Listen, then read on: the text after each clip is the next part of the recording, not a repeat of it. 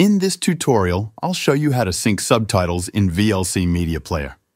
First, play the video you want to sync with the subtitles. Watch closely to see how far the subtitles are out of sync. You'll want to get a rough idea of whether they're appearing too early or too late. Once you've identified the timing issue, go to the Tools menu at the top of VLC and select Track Synchronization. A new window will open. In the Track Synchronization window, focus on the section labeled Subtitle Track Synchronization. Here, you can adjust the timing of the subtitles. If the subtitles are appearing too early, you'll want to delay them by entering a positive time value in seconds. If the subtitles are appearing too late, enter a negative value to make them show up earlier. After making your adjustments, close the window and play the video again to check if the subtitles are now in sync.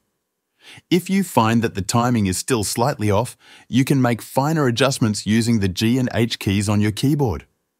Pressing the G key will decrease the delay by 50 milliseconds, making the subtitles show up earlier.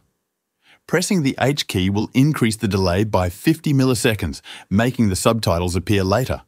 Test the video again to ensure the subtitles are perfectly synced. That's all there is to it. Now you know how to adjust and sync subtitles using VLC Media Player. Thanks for watching.